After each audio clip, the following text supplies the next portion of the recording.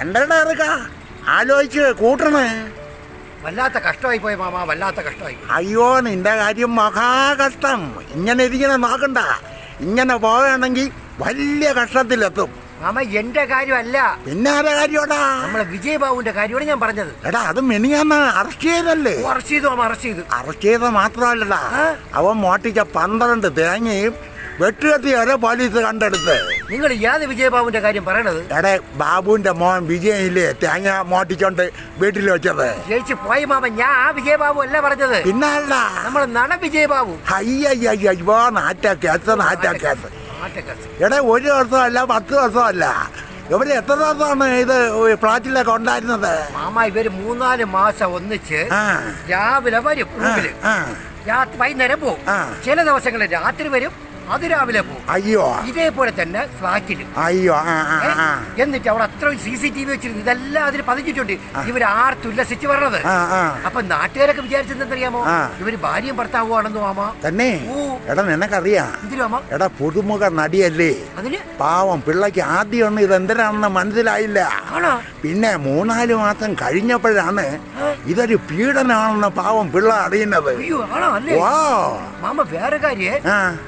ഇപ്പൊ ഇവർ താമസിച്ച റൂമിലെ കട്ടിൽ അലമാര എന്തിന് നമ്മുടെ ചവിട്ടിൽ ചവിട്ടുമെത്ത.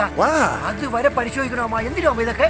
എടാ ഇപ്പൊ ഡിജിറ്റൽ യുഗമല്ലേടാ അതിന് എടാ അത് കട്ടിലിൽ വരെ പരിശോധിച്ചാൽ കൃത്യമായിട്ടുള്ള കാര്യം അറിയാം. നിങ്ങൾ എന്തിനു പറയണത്? എടേ കട്ടിലിൽ ഒരു ആറ് മാസത്തിന് മുമ്പ് കിടന്ന് ഒരുത്തം പെടുത്തെന്ന് വെച്ചോ. കൃത്യമായിട്ട് അതിലൊരു സ്വിച്ച് ഉണ്ട് ആ. അടിച്ചു കഴിഞ്ഞാൽ എത്ര മണിക്കാണ് ആരാണ് പെടുത്തതെന്ന് വരെ കൃത്യമായിട്ട് പറയും. അതാണ് അത് ഡിജിറ്റൽ കെട്ടിൽ. വാ. മാമ എന്താടാ? നാളെ മറ്റന്നാളോ ഈ നടനെ പുതിയ പരിശോധനയ്ക്ക് കൊണ്ടുപോകുന്നു മാമ. അയ്യോ അതെന്തൊരു പരിശോധനയുടെ? ലൈംഗിക ശേഷി പരിശോധന. അതെങ്ങനെ ചോദിക്കും ഇതൊക്കെ നിസ്സാരമല്ലേ മാമ ഡമ്മി ഇട്ടാ പോരെ. ഡമ്മി അതെന്തൊരു ഡമ്മി?